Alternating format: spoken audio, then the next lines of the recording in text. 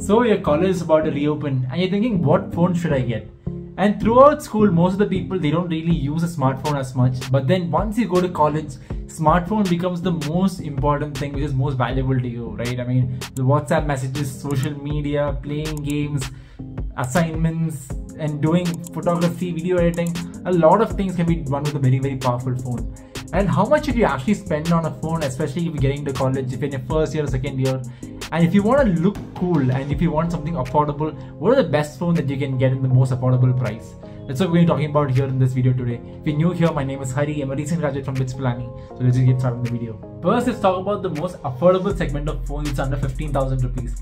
And to be honest, college में लोग क्या ही करते हैं यार maximum रोल reels scroll कर लेते हैं या व्हाट्सएप में टेक्स्ट मैसेज भेजते हैं या कॉल कर लेते हैं उसके अलावा the number of people who are doing anything productive with their phones are actually very and वो लोगों के लिए मेरे पास दो फ़ोन है दो अच्छे फ़ोन मैं ढूंढ के रखा है वो है Redmi 13 5G and the other one is Realme Narzo. And I really like the features a lot and these are very very suited for people who are just getting into college in the first year or second year and they're just exploring something, right?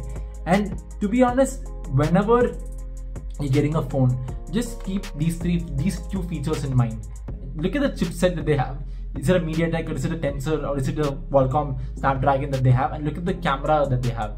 If it's something around uh, more than 50 megapixel in the back camera, that's pretty good. At the same time, look for great storage as well because whenever you take a lot of pictures, a lot of, videos, your storage and the media consumption really grows a lot. And especially if you're forwarding assignments, if you're forwarding a lot of things, then your storage का वो काफ़ी कम हो जाता है मतलब phone में. So keep these things in mind and give though phone it really satisfies both of them because as a one a they have 8 GB RAM and at the same time they have 128 GB of storage as well.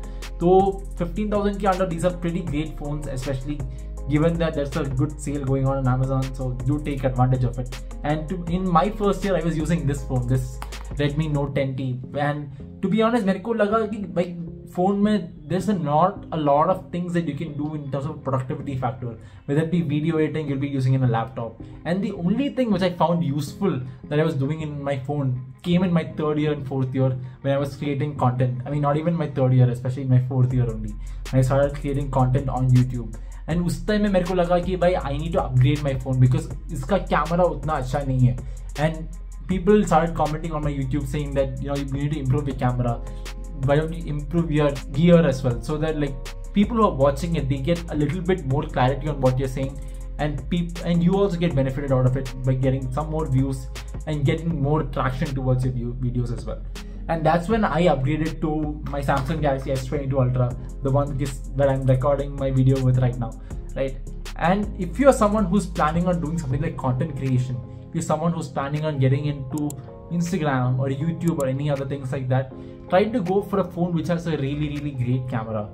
And having done thorough research on great cameras I think it's important that you consider these two brands, the flagship of Samsung, the flagship of iPhones, because you're able to record videos in 60 FPS and if you're able to record videos 8K or 4K, it really brings out the video in a much, much better format. So I felt that there are really three really good phones that are good for content creation, which is the Samsung Galaxy S22, S23, S24 Ultra series, and of course the Samsung iPhone 15 and 15. It doesn't matter if you're going for a 15 Pro or Pro Max even having an iphone it really brings out the camera quality to a next level. And at the same time try to look at the google pixel phones as well. I felt that the photos in google pixel were great but then the videos were not as much as up to the market you would imagine.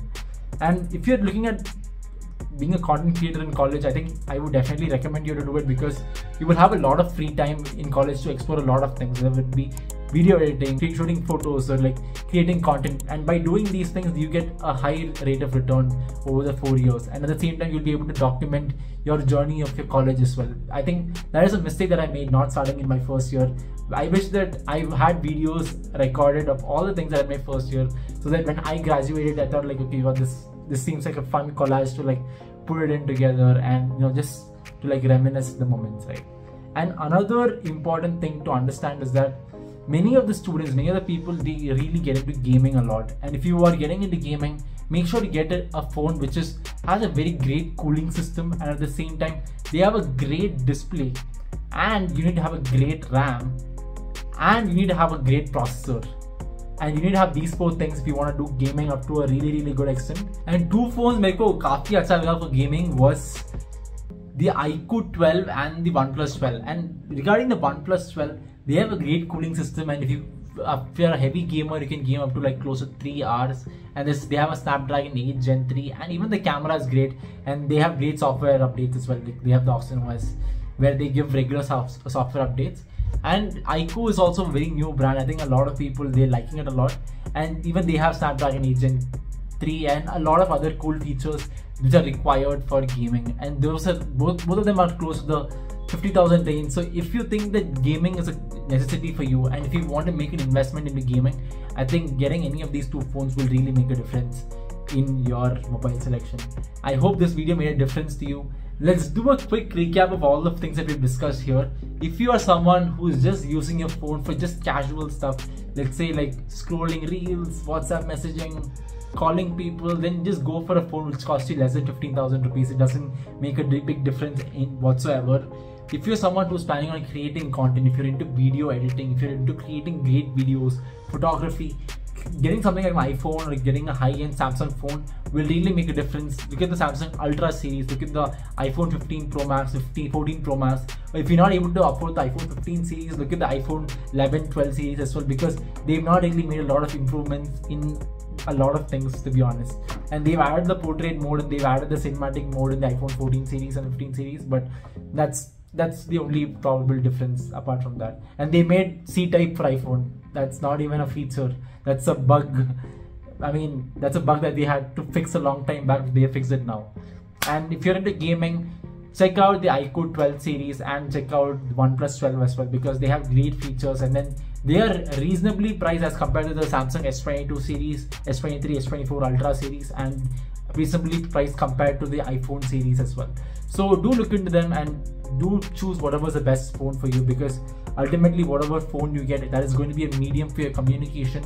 You're going to spend a lot of time with your phone than with most of your friends or peers or parents or whatever it is. So having a good smooth phone whatever it will be a great addition to your life and make your life smoother in a lot of ways. I hope you like this video. If, you're new here, make sure to subscribe to this channel as well. I'll see you guys in the next video. Bye bye.